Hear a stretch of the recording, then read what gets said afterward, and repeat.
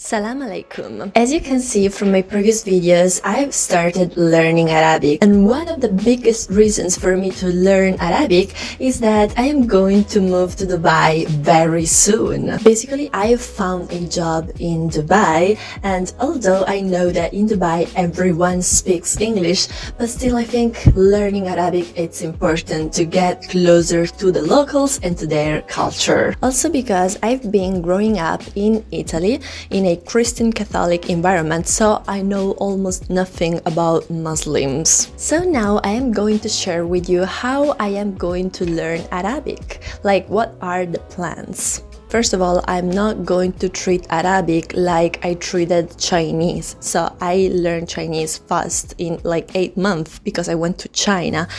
But this is not going to happen with Arabic because at the time I was studying Chinese, I was only studying Chinese. I was not working. It was like pretty much realistic to do it. But this time it's impossible for me even studying Arabic for one hour a day. Also because I'm joining a Chinese company and Chinese companies make you work overtime a lot. Like you have a really good salary, but at the same time, you have to work a lot. So that's why I'm saying I think I will study like two hours a week and that's all. I still have to purchase a book to learn Arabic, but I don't think I will do it right away. I still want to understand how's this language because you know it's complex. It has like tons of dialects and I need to understand what I need to do.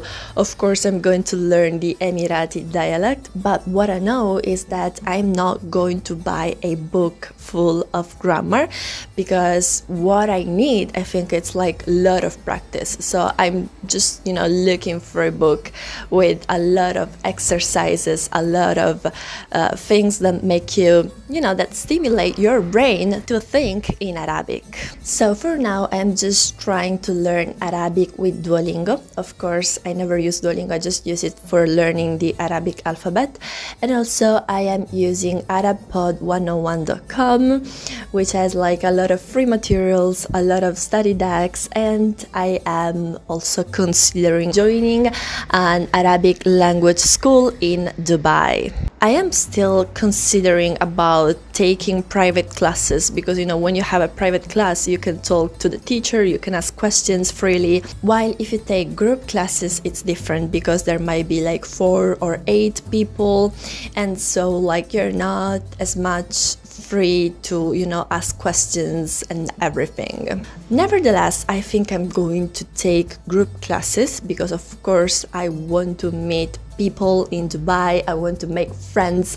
I'm not going there just, you know, to work and earn money. I'm going there to network. So I think this is like a great way to meet same-minded people.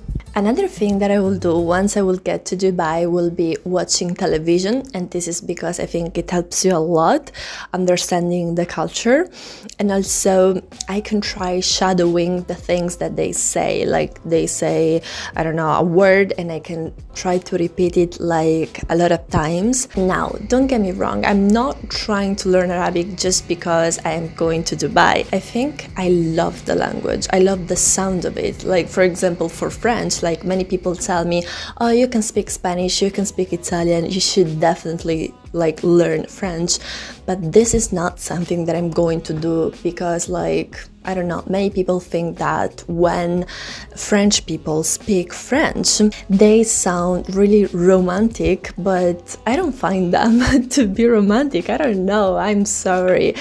Uh, probably this is like an unpopular opinion, just, you know, let me know what you think. What I know is that I'm not going to learn French just because other people are learning it. I want to feel the language. I want to be like, okay, I like the language, I like the sound. I want to have like different reasons not just because other people do it not just because it's one of the most popular languages that you could learn of course, I'm going to document all of the process of learning Arabic, and this is because, like a few weeks ago, I went on YouTube and I typed how I learned Arabic to see like if some YouTubers were doing this, and I've actually found nobody talking about this. Of course, this is like personal thing. It might take me like, I don't know, one year or maybe two years to actually speak the language fluently without any problems. And maybe to someone else might take, I don't know, six months. It's different, but I still think it's interesting to know. Now you must watch this video and I'll see you there.